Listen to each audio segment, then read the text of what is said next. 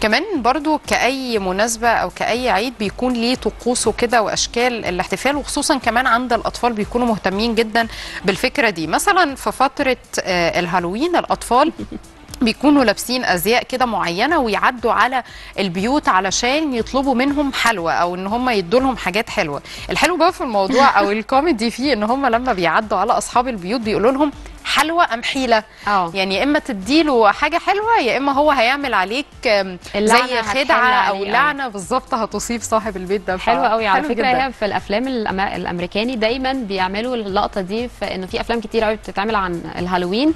فالأطفال فعلا بيقعدوا يخبطوا ال- البيبان ولما العيلة دي ما بتديلهمش حلوى فعلا بيحصل إن هم بيتعرضوا لكوارث ومشاكل كتير. لا دي أفلام بصي الصور. آه طبعا دي أفلام. الصور آه.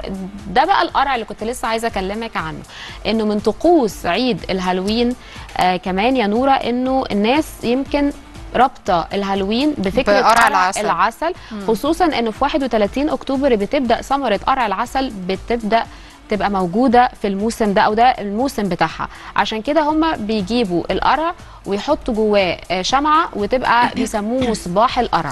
بالظبط كده زي ما انت قلتي يا نوران آه، يمكن في ناس آه، لما بيتفرج بصي هو شكله مرعب طبعا دلوقتي. في ناس أوي. كتير بتشوف إن هو شكله بيبقى مخيف جدا لما بيتفرج وبنحط فيه إضاءة بالشكل ده ولكن أنا عن نفسي أنا بحب الإضاءة بتاعته جدا.